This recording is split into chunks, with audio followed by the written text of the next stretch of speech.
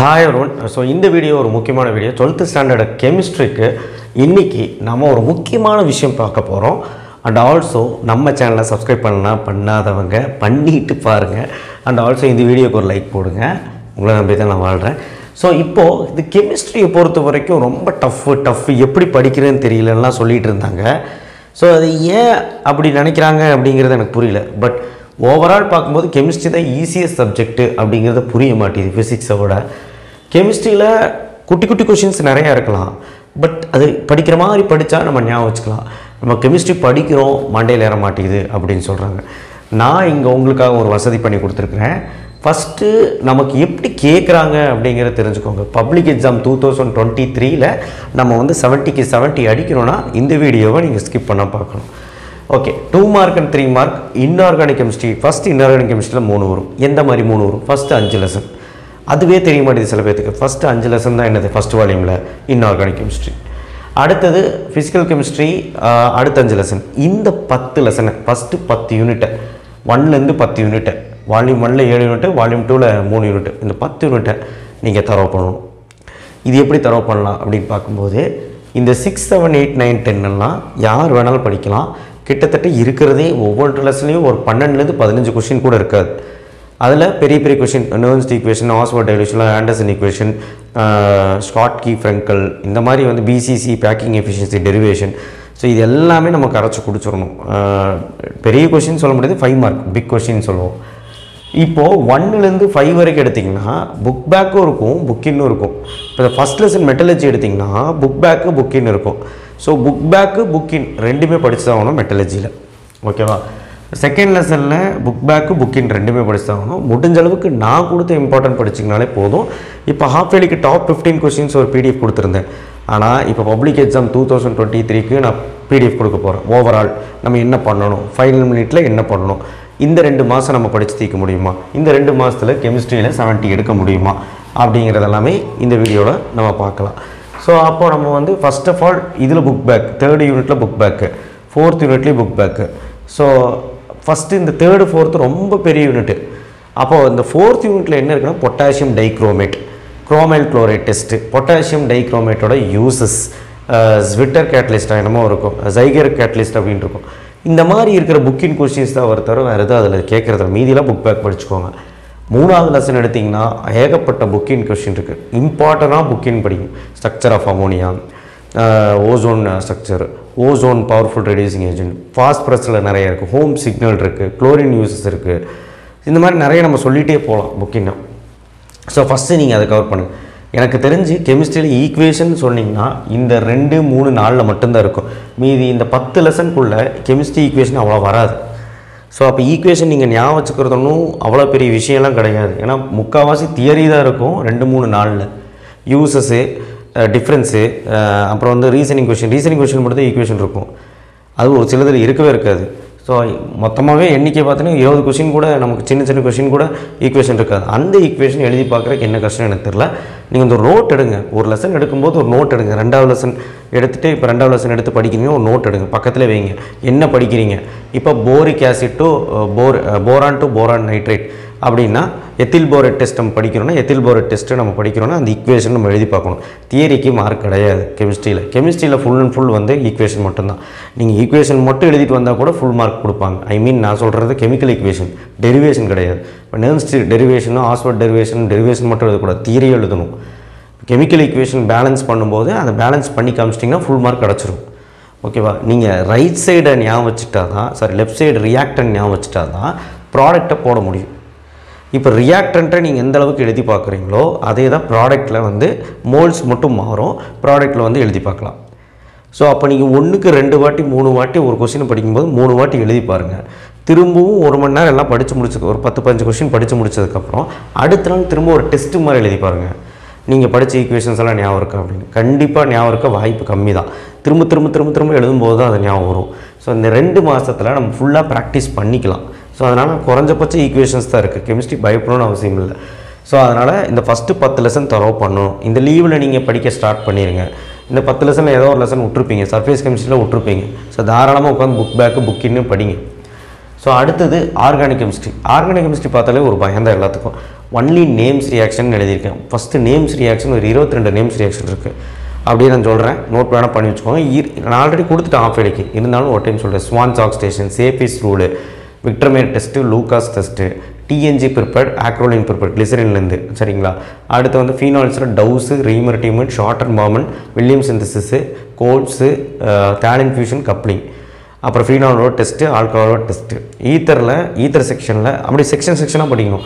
Ether செக்ஷனில் William synthesis ஈத்தரு methylation பார்த்து பார்த்துக்கோங்க. General method of preparation of ஈத்தரில் சொல்கிறேன் ஏதோ ஒரு ரெண்டு பார்த்து வச்சுக்கோங்க. ரெண்டு method preparation auto oxidation ether Friedel Crafts அவ்வளோதான் ஸோ அதை விட்டால் நீங்கள் கார்பன் காம்பவுண்ட் வந்தால் ரோஸ்மந்த் ரிடக்ஷனு ஸ்டீபன்ஸ் ரியாக்ஷனு எட்டன் ரி எட்டான் reaction Gattermann Koch Friedel Crafts அவ்வளோதான் urotropine haloform reaction Wolff Kishner Clemmensen reduction அதுக்கப்புறம் வந்து பார்த்திங்கன்னா பென்சாயின் கண்டென்சேஷன் பென்சால்டிட் அதுக்கப்புறம் வந்து பார்த்திங்கன்னா கன்னிசாரோ ரியாக்ஷன் ஆல்டால் கண்டென்சேஷன் ரொம்ப இம்பார்ட்டன்ட் மெக்கானிசம் நனவங்கள் ரியாக்ஷன் பெர்கின்ஸ் ரியாக்ஷன் அதை விட்டால் ஆல்டிஹைடோட டெஸ்ட்டு நாலு டெஸ்ட் இருக்குது படிக்கணும். கார்பாசிலிக் கார்பாசிலிக் ஆசிடோட டெஸ்ட்டு படிக்கணும். Kolbe's electrolytic method HVZ reaction reduces formic acid transesterification இவ்வளோ தான் இருக்குது ஸோ அடுத்து பதிமூணாம் லெசன் எடுத்திங்கன்னா ஏழோ எட்டோ தான் கெட்டர்மென்னு Gomberg Sandmeyer mustard oil Gabriel phthalimide so இந்த மாதிரி தான் இருக்குது சரிங்களா? ஸோ இதெல்லாமே நான் ஆல்ரெடி ஆஃப் பண்ணி கொடுத்துருக்கேன். அதை நீங்கள் படிச்சிங்கனாலே போதும். ஒர்க் அவுட் பண்ணி பாருங்கள் ஸோ ஒரு இருபது இருபத்தி ரெண்டு நேம் செலெக்ஷன் தான் இருக்கும். அது நீங்கள் என்ன பண்ணுறீங்கன்னா ஒரு நேம்ஸ் செலெக்ஷன் இப்போ டவுஸ் ப்ராசஸ் எழுதுறீங்கன்னா டவுஸ் ப்ராசஸ் எழுதும்போது ரியாக்டண்ட்டில் எழுதுறீங்க. இப்போ ரியாக்டன்ட் வந்து டவுஸ்லேருந்து ஓ ஓ, ஃபீ நமக்கு ஃபீனால்லேருந்து ஐ மீன் பென்சின்லேருந்து NaOH போட்டால் சோடியம் பென்னாக்சைடு கிடைக்கும். அப்படிங்கிறது நீங்கள் வந்து தியரியாகவும் கீழே எழுதியிருப்பாங்க. அதுவும் எழுதணும். எழுதிட்டு அதை நீங்கள் அந்த பென்சின் ரிங்கை வரைஞ்சி பழகணும் வரைஞ்சி பழகிட்டு NaOH போட்டால் சோடியம் பென்னாக்சைடு கிடைக்குதுன்னு அதுவே நீங்கள் ஒரு ரெண்டு வாட்டி எழுதி பார்க்கணும். அதுக்கப்புறம் அடுத்த ப்ராசஸ் ஏன்னா அப்படி தான் போகும் ஃபீனாலில் ஸ்வான்ஸ் சாஸ்டேஷன் எடுத்திங்கன்னா ரெண்டு கேட்டகரி இருக்கும். ப்ரைமரி ஆல்கஹால் செகண்டரி ஆல்கஹால் வச்சும் பண்ணிக்கலாம். ஸோ அது எப்படி வச்சுக்க பண்ணிக்கலாம் அப்படிங்கிறதெல்லாம் நீங்கள் புரிஞ்சு நீங்கள் புரிய ட்ரை பண்ணுங்கள் நீங்கள் first of all CHOH OH பயப்படாதீங்க. நேம்ஸ் ரியாக்ஷனை பொறுத்த வரைக்கும் ஒரு நாளைக்கு அஞ்சு கொஸ்டின் எடுத்து படிச்சினாலும் போதும். இப்போ நீங்கள் சப்போஸ் ஃபஸ்ட்டு வாலையுமே இந்த பத்து லெசன் நான் அப்புறம் படிச்சுக்கிறேன் அப்படின்னா எனக்கு பெஸ்ட் ஐடியா என்ன தோணுதுன்னா இப்போ நீங்கள் இந்த லீவில் இந்த லெவன் டுவெல் தேர்ட்டின்னு நேம்ஸ் ரியாக்ஷன் முடிங்க. ஒரு நாளைக்கு ஒரு ஆறு இல்லை ஏழு ரியாக்ஷன்ஸை நீங்கள் எழுதி பார்க்குறக்கு ஒரு ஒன்றரை மணி நேரம் ஒரு மணி நேரம் கூட ஆகாது. அடுத்த நாள் திரும்பவும் டெஸ்ட் எழுதி பாருங்கள் நீங்கள் எழுதி பார்க்குறத மட்டும்தான் மண்டையில் ஏறும் தவிர வேறு வழியே கிடையாது. என்ன தான் நீங்கள் புரிஞ்சு படித்தாலும் அது எழுதி பார்த்தா தான் மண்டையில் ஏறும். சரிங்களா? எல்லாமே நான் சொன்னதெல்லாமே ஈஸியான ரியாக்ஷன்ஸ் ஃபோர்டீன் ஃபிஃப்டீன் அவ்வளோலாம் சிரமம் கிடையாது. புக் பேக் படிச்சிங்கன்னா போதும். அது குட்டி குட்டியாக தான் இருக்கும். ஃபோர்டீன் ஃபிஃப்டீன் ஃபோர்டீன் ஃபிஃப்டீன் இப்போதைக்கு புக் பேக் படிங்க. ரிவிஷன் எக்ஸாம் ஒன்று முடிஞ்சதுக்கப்புறம் ஃபிஃப்டீனில் புக்கின் படிக்கலாம். பேக்லைட் ப்ரிப்பரேஷன் பியூனா என்ன Buna S nylon six nylon six six two இந்த மாதிரிலாம் இருக்குது ஈக்குவேஷன்ஸ் அந்த ஈக்குவேஷன்ஸ் நம்ம எழுதி பார்க்கணும். கெமிஸ்ட்ரி பொறுத்த வரைக்கும் ஓவரால் பார்க்கும்போது ஆர்கானிக் கெமிஸ்ட்ரியில் ஈக்குவேஷன் ஜாஸ்தி. ஆனால் அந்த ஆர்கானிக் கெமிஸ்ட்ரி எல்லா ஈக்குவேஷன் நான் உங்களை எழுத சொல்லலை நேம்ஸ் ரியாக்ஷன் மட்டும்தான் எழுத சொன்னேன். இப்போ அந்த நேம்ஸ் ரியாக்ஷனில் நேம்ஸ் ரியாக்ஷன் ஓகே கீழே. புரியலனா அடித்து பாருங்கள் நிறைய பேர் கெமிஸ்ட்ரியில் நேம்ஸ் ரியாக்ஷன் நிறைய பேர் எக்ஸ்பிளைன் பண்ணுறாங்க எக்ஸாம்பிளுக்கு நம் நம்ம நண்பர் எம்சிபி சேனலில் கூட வந்து பார்த்திங்கன்னா சொல்லிட்டு இருக்காரு. ஒவ்வொரு ஒவ்வொரு நேம்ஸ் ரியாக்ஷன் உசுர் கொடுத்து நடத்திட்டு இருக்காரு. நீங்கள் போய் பாருங்கள் அது அருமையாக நடத்திட்டு இருக்காரு. ஸோ நீங்கள் வந்து ஒரு ஒரு ரியாக்ஷன் நீங்கள் அஞ்சு ரியாக்ஷன் எடுத்திங்கன்னா அஞ்சு ரியாக்ஷன் நீங்கள் ஒரு நாள் பார்த்து படிக்கிறதுக்கு ஒரு அரை மணி நேரம் கூட ஆகாது. சரிங்களா? ஸோ நீங்கள் லீவில் ஆர்கானிக் கெமிஸ்ட்ரி படிங்க. அதுக்கப்புறம் unit four unit fourteen fifteen படிக்கலாம் படிங்க. அப்போ ரிவிஷனிசம்க்கு ஆட்டோமேட்டிக்காக இதில் நீங்கள் இம்பார்ட்டன்ட் படிச்சிருப்பீங்க. ரிவிஷனிசம்க்கு ஒப்பேத்திடலாம் ரிவிஷன் டூக்கும் அப்படி தான் பட் அதுக்குள்ளே பப்ளிக் வர்றதுக்குள்ளே இது ஃபுல்லாகவே நீங்கள் தரவாக இருக்கணும். ஸோ அப்போ ஃபஸ்ட்டு ஒரு மாதம் நீங்கள் வந்து ஃபஸ்ட்டு பத்து லெசன் கம்ப்ளீட் பண்ணிட்டீங்களான்னு பாருங்கள் ஃபஸ்ட்டு அதுவே பண்ணலன்னா ஃபஸ்ட்டு அதை படிங்க.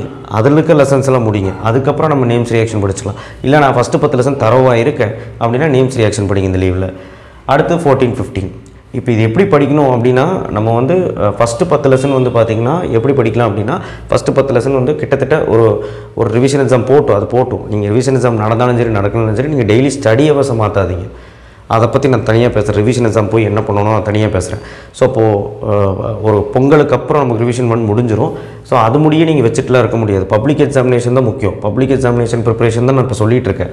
ஸோ அதனால் ஃபஸ்ட்டு பத்து லெசனை நீங்கள் வந்து கரைச்சி குடிக்க ட்ரை பண்ணுங்கள் ஒரு மாதம் டைம் எடுத்துக்கோங்க. தப்பே கிடையாது. இந்த ஒரு மாதம் ஃபுல்லாக ஜனவரி ஃபுல்லாகவே டைம் எடுத்துக்கோங்க. அடுத்து ஃபெப்ரில் நீங்கள் கூட நேம்ஸ் ரியாக்ஷன் எழுதி பார்த்தீங்கன்னா போதும். முடிச்சிடலாம். ஃபோர்டீன் ஃபிஃப்டீன்குள்ள ஒரு வாரம் போதும். ஸோ ஃபெப்புக்குள்ளே நீங்கள் வந்து டைம் பார்த்து ஒரு நாளைக்கு ஒன் ஹவர் இல்லை ஒன் அண்ட் ஹாஃப் ஹவர்ஸ் படிச்சிங்கன்னா இந்த ரெண்டு மாதத்தில் கெமிஸ்ட்ரி வந்து எல்லாமே முடிச்சிடலாம். இல்லை சார் நான் ஒன்றுமே ரெடி பண்ணல ஒன்றுமே எனக்கு தெரியாதுன்னா ஃபஸ்ட்டு ஃபஸ்ட்டு வால்யூமை முடிக்க ட்ரை பண்ணுங்கள் first lesson second lesson third lesson fourth lesson fifth lesson அப்படி போக முடியலையா first lesson second lesson six seven eight nine ten first இதை முடிங்க. ஒன்றுமே தெரியாத. அப்புறம் மெது மெதுவாக பண்ணிக்கலாம். ஃபஸ்ட்டு பத்து லெசன் ஒன்றுமே தெரியாத கூட ஃபஸ்ட்டு பத்து லெசனை முடிச்சுக்கிட்டு இந்த நேம்ஸ் ரியாக்ஷன் எழுதிப்பாரு ஓகே ஸோ நேம்ஸ் ரியாக்ஷனில் முக்கியமே mechanisms and விக்ட்ரமேட்டிஸ் and Lucas test alcohol diff distinction பண்ணுற டெஸ்ட்டு தான். ஸோ ஓவரால் பார்க்கும்போது கெமிஸ்ட்ரி வந்து அல்வா சாப்பிட்ற மாதிரி ஸோ ஈஸியாக அள்ளிட்டு போயிடலாம். ஸோ கரெக்டாக நீங்கள் வந்து இந்த third lesson second lesson fourth lesson என்ன தெரியுமா விடுவீங்க? புக் பேக்கில் ஒரு சிலது இருக்கும். இருபது கொஷினில் ஏதோ ஒரு கொஷின் விட்டுட்டு போயிடுவீங்க அதனால தான் நான் இம்பார்ட்டன்ட் போடுறேன். அது ரிப்பீட்டடாக நான் இருக்கிற கொஷினும் போடுறேன். எல்லா கொஷின் பேப்பரில் வந்தது தான் போட்டிருக்கேன். அதனால தான் நம்ம இம்பார்ட்டன்ட் வந்து வருது டக்குன்னு வந்துடுது கொஷின் பேப்பரில் ஸோ தயவு செய்து நீங்கள் வந்து இம்பார்ட்டனாவது ஒழுக்கமாக படிச்சுட்டு போங்க. இம்பார்ட்டன்னா இருபத்தாறில் இருபது கொஷின் கொடுத்துருவேன். ஸோ ஓவரால் எல்லாமே கேட்டுட்டு தான் இருக்காங்க எல்லா பப்ளிக்லேயும் ஸோ அதனால் அது கரெக்டாக படிச்சிங்கனாலே போதும் அந்த இம்பார்ட்டன்ட் கொஷின் ஓகேவா புரிஞ்சுதா? ஸோ நீங்கள் மட்டும் பத்து லெசன் முடிச்சிட்டீங்களே ஆர்கானிக்கில் இன்ஆர்கானிக்கில் மூணு ஃபிசிக்கலில் மூணு வந்துடுது அதில் நாலு கொஷினாவது டூ மார்க் த்ரீ மார்க் எழுத முடியும். மூணு எழுதணும்னா நீங்கள் நேம்ஸ் ரியாக்ஷன் இந்த ஃபோர்டீன் ஃபிஃப்டீன்லாம் படிச்சிங்கன்னா ஆறு ஆறு எழுதிடலாம்.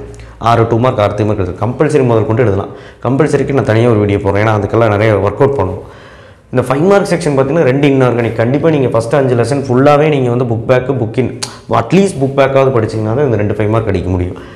ஏதரா சாய்ஸில் அடுத்து either or choice physical chemistry வரும் third question third five mark அதுக்கு நீங்கள் வந்து கண்டிப்பாக சிக்ஸ் செவன் எயிட் நைன் டெனில் சிக்ஸ் செவன் எயிட் எப்படி வேணாலும் சப்போர்ட் பண்ணி கேட்குறாங்களா சிக்ஸ் கேட்டால் கூட எயிட்டும் கேட்குறாங்க அதனால் நீங்கள் எப்படி எல்லாமே படிக்கணும்.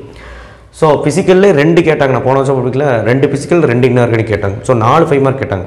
ஸோ சில பப்ளிக்கில் ரெண்டு ஆர்கானிக் கேட்குறாங்க ஒரு ஃபிசிக்கல் கேட்குறாங்க ரெண்டு இன்ஆர்கானிக் கேட்குறாங்க ரெண்டு ஆர்கானிக் கேட்டாலும் பயப்பட வேண்டாம். நீங்கள் ரெண்டு ஆர்கானிக் கேட்டால் கண்டிப்பாக இந்த ஃபோர்டீன் ஃபிஃப்டீனில் ஒரு ஃபைவ் மார்க் கொடுக்கும் ஏபியில் போட்டு கேட்பாங்க.